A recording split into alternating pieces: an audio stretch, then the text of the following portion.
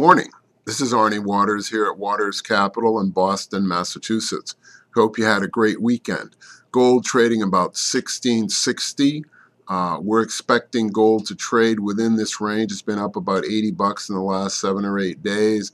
Uh, we think that uh, because there's a relatively low number of net longs, that uh, this is a move that is not going to be the big move, uh, but we're continuing to encourage our clients to hold and uh, without extending the size of their positions. Uh, what that means is that uh, gold price is doing very good things, uh, in part because people are having a greater recognition that the euro is more likely to be at 120 by the summer than it is to be at 130. Our projection, as you call, for recall, for the euro is sometime in the middle of the spring, the euro to be at 120. In addition, uh, month to month, the Chinese bought a lot of gold in November versus October.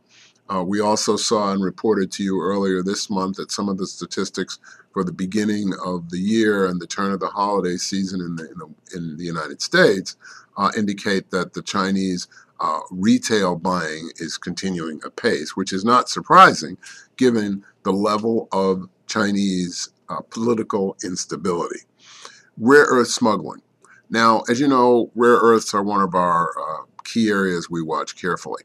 Uh, there have been some reports that uh, there are 30, this is a fact, 30,000 tons of rare earths are approved for export from China.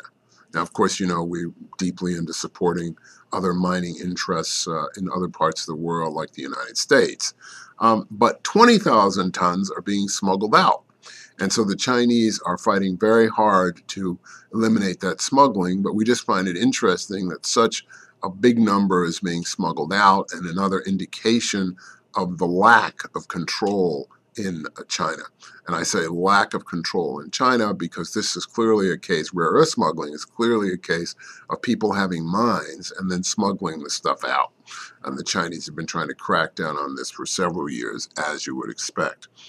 Um, in looking at the world, two other things uh, come up. One is that in Saudi Arabia, uh, which is whatever it is, the kingdom, uh, the there has been a big change. Uh, a moderate person, a person who believes in rights of women and things of this nature, has been appointed the morals minister. And this is the legendary Sheikh al Sheikh, uh, who is uh, widely perceived as a moderate and a big step away from the hardliner who used to cause people to be whipped in the streets and things of this nature. So the Saudi kingdom responding to the Arab spring, fall, summer, winter the, the winds of freedom, even reaching into Saudi Arabia. Uh, lastly, uh, we think that the U.S. stock market movement has been uh, somewhat, or, or let me not say it that way. The U.S. stock market is not in for any long period of upward movement. Part of the reason for this is there are a low number of people who think it's going down. This, of course, is a sign that it is in fact going down because most people are very optimistic.